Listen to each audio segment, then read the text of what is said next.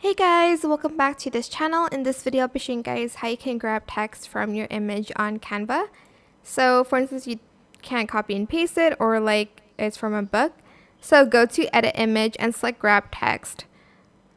I'm just going to select all text because it's a little bit easier and I'm just going to select grab and it's going to basically grab the text and make it into like a text in Canva. As you can see, you can edit it and stuff like that. And I think that's pretty cool. It's also going to copy and paste the, well, it's going to like use the colors from the image as well, which I think is pretty cool. And that is pretty much how you can grab text from Canva. Canva? Canva. And this is a pro feature, by the way. But yeah, that is it. I hope this tutorial was helpful for you guys.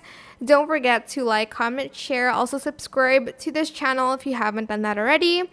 If you have any more questions about this video, just leave it in the comment section down below. I will try my best to answer them all for you guys. And if you found this video helpful, please click the thanks button as well. That is it. Thank you so much for watching.